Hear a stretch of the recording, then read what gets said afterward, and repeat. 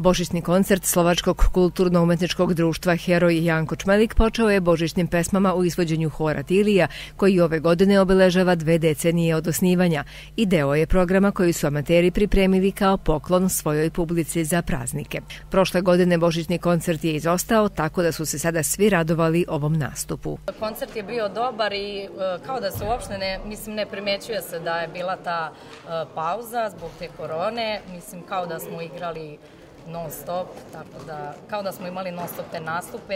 Iako su aktivnosti redukovane i do maja se nije mnogo radilo, amateri su ipak učestvovali na pojedinim manifestacijama. Na primjer, sestre Marina i Anita Bogdanović na Dečijem festivalu u Šidu, dok je Aleksandra Filko predstavljala Pazovu na muzičkom festivalu za odrasle u Pivničkom polju, a pored njih na Božićnom koncertu nastupilo je još nekoliko solo pevača. Svoju premijernu koreografiju izvela je najmlađa dečija grupa za koju je rukovodstvo društva društva obezbedilo novogodišnje paketiće.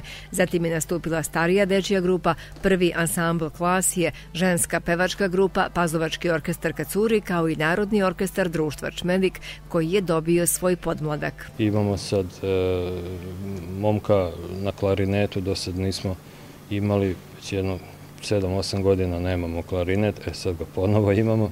Ono što smo e, sada htjeli da pokažemo, to nije možda to najveće dostignuće što, zato što nije bilo ni manifestacije.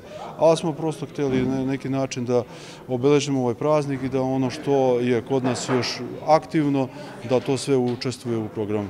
Pored online programa početkom ove godine, ova će sa društvo Čmelik ostati upamćena i po zlatnoj plaketi koju je na Republičkoj smotri recitatora osvojila Jana Ruman po obeležavanju 100 godina udruženja žena i svečanoj akademiji povodom dve i po decenije dolaska Slovaka u ovo mesto.